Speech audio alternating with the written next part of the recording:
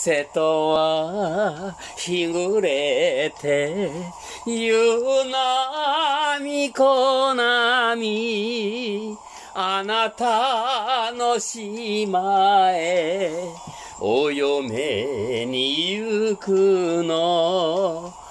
若いと誰もが心配するけれど、愛があるから大丈夫なの。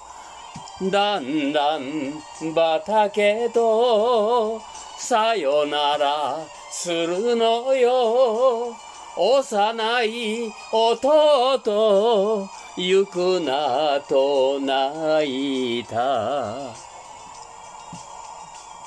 男だったら泣いたりせずに父さん母さん大丈夫なの？